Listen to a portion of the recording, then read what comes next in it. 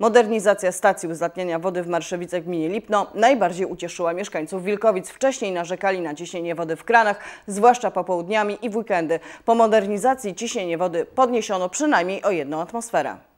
Koszty modernizacji poniosła gmina Lipno. Zadanie jako operator wykonało Miejskie Przedsiębiorstwo Wodociągów i Kanalizacji w Lesznie.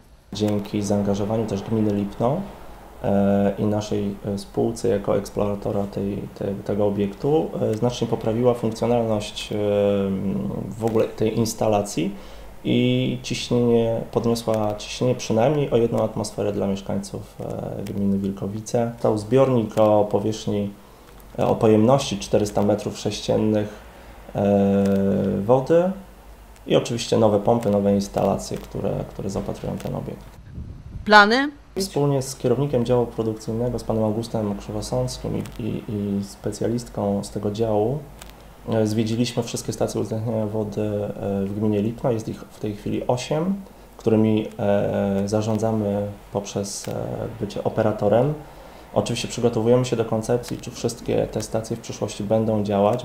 Być może połowa stacji zostanie zlikwidowana, ale tylko po to, by poprawić działanie reszty.